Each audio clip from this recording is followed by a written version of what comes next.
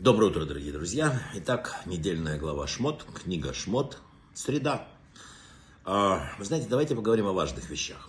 Важных и немножечко серьезных.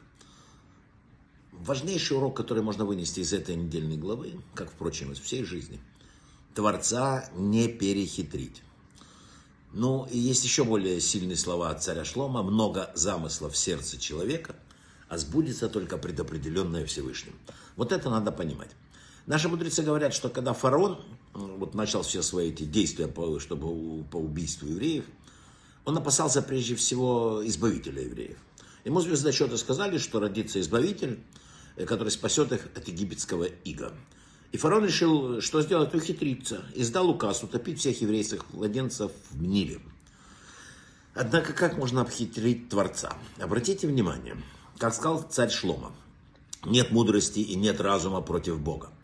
Пишет Рахмаль, выдающийся мыслитель еврейский, в книге Дат Твунот. Ни одно из его созданий не может противостоять ему все их укушения, ложь, и не помогут они им, ведь он господин всего, и нет никого, кроме него. Фараону не только не удалось воспрепятствовать избавлению евреев, напротив, обратите внимание, он сам своими действиями способствовал этому. Тем, что он утяжелил работу евреев, он способствовал тому, что они возвали к Творцу, и, наконец, он услышал их. А тем, что он приказал бросить еврейских младенцев в Нил, способствовал тому, что его дочь, когда шла к Нилу, увидела э, корзинку с Маше, взяла его в дом фараона, где Маше и вырос. Выходит, что фараон сам вырастил Маше в своем доме. И так все желания безумцев, касающихся э, планов, желающих помешать Всевышнему, они не только не преуспеют, но и, как выяснится, в конце концов, будут всеми своими действиями способствовать планам Бога. Кстати, об этом говорил Иов книга. Он вращает круги по замыслу своему. Рахмаль пишет, что когда откроются наши глаза, что никакие изощрения грешников не только не помогут им помешать планам Творца, но и наоборот будут способствовать им. И мы увидим единство Творца вот именно тогда, что от Запада до Востока никого, кроме него, не существует. Интересно, что самая большая, возьмите там катастрофа, э, Вторая мировая война послужила средством преодоления американской экономикой депрессии предвоенных лет – заставила работать на всю катушку и в конце концов способствовала превращению Америки в одну из самых мощных э, стран мира. И именно там была создана после войны крупнейшая еврейская община. Да, принесла война колоссальную катастрофу еврейскому народу. Холокост. Но что мы знаем о том, кто погиб в это время, об их положении на небе, куда они вознеслись? Вы понимаете, мы видим мир через замочную скважину своей маленькой жизни. Самая большая влиятельная еврейская община в истории жила в Испании. В 1252 году она была изгнана целиком. Просто изгнана 2 августа. 3 августа король Испании, который наконец сказал, что я победил евреев, отправил на конфискованные у них деньги экспедицию Колумба, которая открыла Америку. Вы понимаете, как это все э, в мире сделано? Есть э, очень сложная для нашего человеческого разума каббалистическая формула, и звучит она так.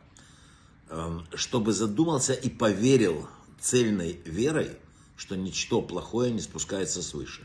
И все, что делает милосердный, делает добру. Это написано в трактате Брахот. Для блага ли души, или для блага тела, а все, что нам кажется плохим, Всевышний задумал к добру. иногда это становится явным человеку, и тогда он говорит, благодарю тебя, потому что ответил мне, был моим спасителем. А иногда становится, остается сокрытым. Когда наверху хотят, чтобы человек получил страдания, чтобы спасти его от смерти, его душу от э, спуска в геном и так далее. Вы понимаете, этот мир не так прост, как нам кажется. Нам маленькая песчинка думает, что она все знает. Все в этом мире в руках Творца. Некоторым правителям он открывает свой путь, там, или некоторым людям, знающим. Например, Хафиц Хайм сказал, Хафиц Хайм, в те времена российские коммунисты продержатся у власти 70 лет – и рухнут, в точности повторив вавилонское знание. Написано, исчезнут сами собой. Могучая коммунистическая партия, которая была тогда, исчезла сама собой, не оставив следа. Мы должны помнить, что Бог управляет всем. Я расскажу короткую историю. В 50-м году Равин Игуда э, Гехт зашел знакомую семью навестить. Видит они очень печальные, огромные печальные лица. Он говорит, что случилось? Он говорит, мы хотели иметь детей, но обследование закончилось, и сегодня врач сказал нам страшные слова, что ни одного шанса у нас нет. Равин говорит, да подождите, поехали к моему рэбе, сейчас поговорим. Это был рэбе Йосиф Ицкак, он был, это было за 5-6 дней до смерти его не приехали. Они приехали к нему, он сумел добиться э, встречи. Тяжело уже было принять ему, он был очень болен. Йосиф Ицкак. Он говорит, были у врачей? Он говорит, были. Они сказали, что все безнадежно, шансов нет. И Рэбе начал рыдать от смеха.